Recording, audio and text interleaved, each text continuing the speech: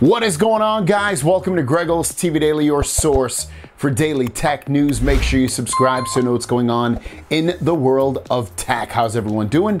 Hope you're having a fantastic day. It's a slow summer day. So, with that said, though, we've got some good questions from you guys, so we're going to dive into those. But before I do, two points of uh, interest for you. One would be uh, I put out a new video today for an electric bike. Check that video out, I'll link it down below. It's a very inexpensive electric bike. It's only $7.99, which can sound expensive, but it's actually very inexpensive for an electric bike.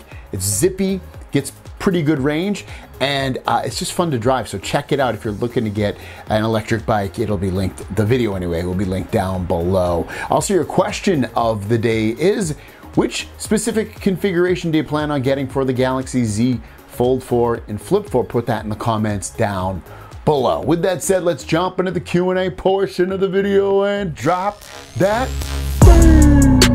all right, first question of the day comes from Terry Bourne saying, uh, Do you think the phone cracking in the crease would affect the trade in value?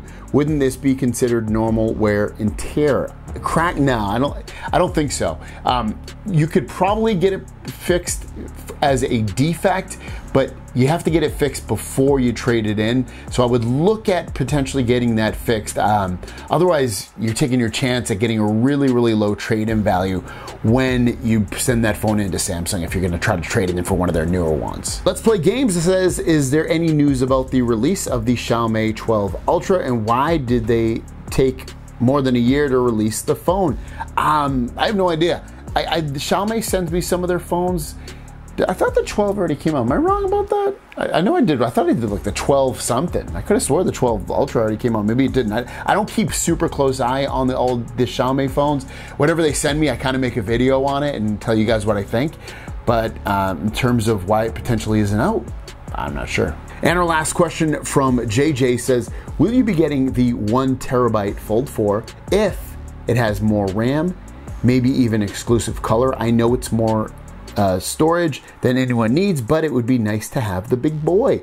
Um, I, the way I look at it now, and I've kind of said this before, is for me, 256 gigs of storage is completely fine. It lasts me getting up into a year, and then I'm like, you know what, I need to delete some stuff, or I might need that next storage unit. But usually I just offload some videos or photos. But I still, even to this day, I think I have like 60, 70, 80 gigs or something free on this one. So for me, the probably the highest I personally would go would be 512 gigabytes.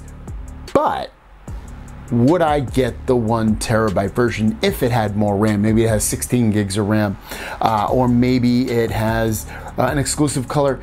I'll be honest with you, probably not at this point. The 12 gigs of RAM is absolutely fine with me on this.